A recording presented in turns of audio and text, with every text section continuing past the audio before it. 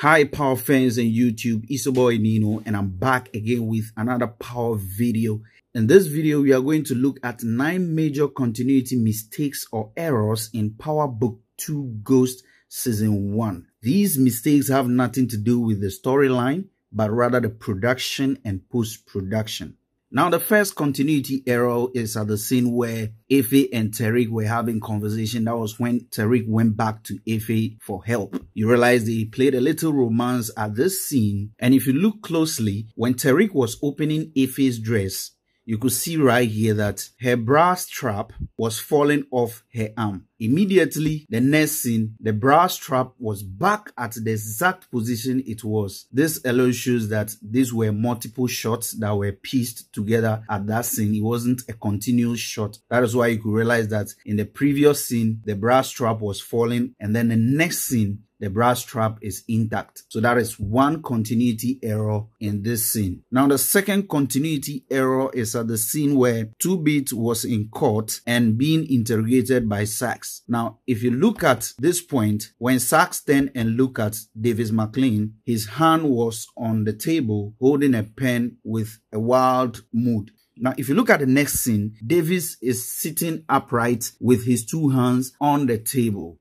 Now, moving to the third continuity error, this is actually in the first episode of Power Book 2 when Tariq and his grandmother met at the entrance of the court and they had that passionate hug, you realize that the grandmother's hand was on Tariq's right shoulder. Now take a close look at this. In the next scene, boom, the hand went off. So this is a continuity error, which also means that this scene was shot multiple times and they couldn't keep track on the continuities and they kept all the footages and the editor didn't have a choice but just to use them as such. Now, the mistake number four is where Tariq and Brayden went to Trace party. Now, after the police showed up and then they had that little back and forth, and Trace was going back into the room and say, let's have a party. You can realize that in that shot, Tariq was smiling, giggling, also excited. Then in the next scene, boom, he's all moody and as if he wasn't excited about anything. To me, personally, this is one of continuity errors because Tariq shouldn't have laughed in the previous one. He should have just kept his mood as it was in the close-up shot.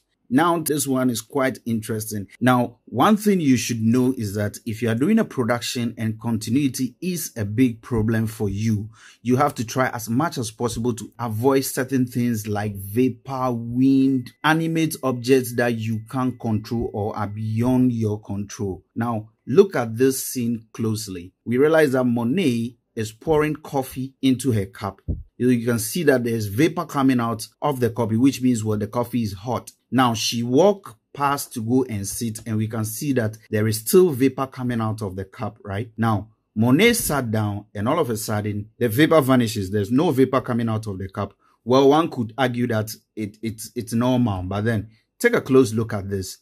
When Dru came in, the vapor is back in. You could see that the vapor is still coming up, which suggests that it's still coming out from the cup. Now, that is not it. In the next scene, you see that the vapor is not even coming out again. Now, that is not all. If you switch in between these scenes, you realize that the vapor is not in one of the scenes and the other, the vapor is always in the scene. This also should tell you that once you are doing multiple shots, you need to make sure that your continuity is intact.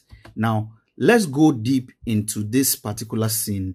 Now, this is where Terry comes in. If you notice, the cap is at the left hand side of Monet at exactly where she placed it initially. Now, when Tariq was entering with the bag, about to put the bag on the table, you can see that the cap vanished and boom, right in front of Monet with beautiful vapor coming out of it. This is a big continuity mistakes. This one was so obvious that this was a mistake. My advice is if you are doing a production and you have to deal with animate things like vapor, smoke, water droplets, and all those things, you have a huge responsibility when it comes to continuity because those things might not be necessary to you, but trust me, it could break your continuity and it will expose the fact that you are not paying attention to what you were doing. So that is it about this particular scene and it was episode 9.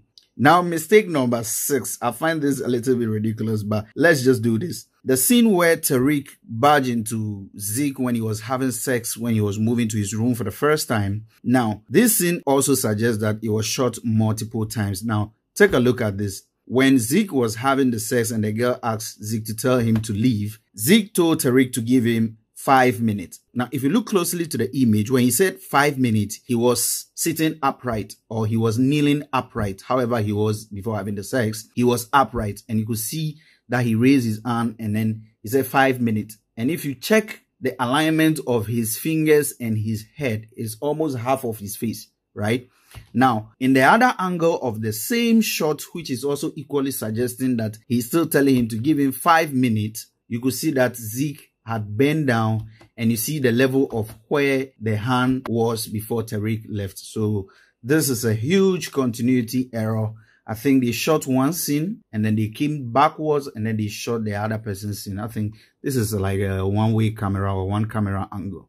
Now, mistake number seven is the scene between Epiphany, Davis, and Saxe when they went to her in her house. Well, someone would say it's not her house, but where she was living. Now, I don't know what happened during this particular scene, but Epiphany's continuity was really, really, really bad in terms of her gestures. Now, let me just draw your attention to just one set of it. Now, if you take a close look at this scene, her hand is on her waist, right? In the next scene, she has folded her arm. Now, in the next scene again, you find her right hand on her waist. This alone should tell you how inconsistent Epiphany was with her gestures. And this was supposed to be monitored by a continuity person. So I don't know whether to blame Epiphany or I should blame the person who was responsible to monitor all these things and make sure that they follow consistently. Now, mistake number eight, this one I think it is bad, bad, bad, bad. That is is the scene where Paula went to Tasha alone. Now look at how Paula entered the room. Okay, in this establishing shot, you could see that Paula is holding her bag with her right arm. Okay, then the hand went off when they cut to Tasha's angle when Tasha was speaking. Then the next scene cutting back to Paula, Paula is seen holding her bag again. Okay, then they switch back to Tasha alone. Then quickly back to Paula. Now Paula is now holding readjusting her bag. Then what happens? In the next scene that we are seeing Tasha, her hand is straight down. This scene went on and on and on, and I believe these are little, little things that I think they should take notice of and then make sure that people like us don't scrutinize them a little bit about their continuity. Now to the ninth and final major mistake that I've noticed is the graveyard where they were going to bury the supposed ghost body. I said the supposed ghost body because I still believe ghost is alive. Let's put that aside. Now, if you look at the way they held the casket, right, it felt as if there was someone in it.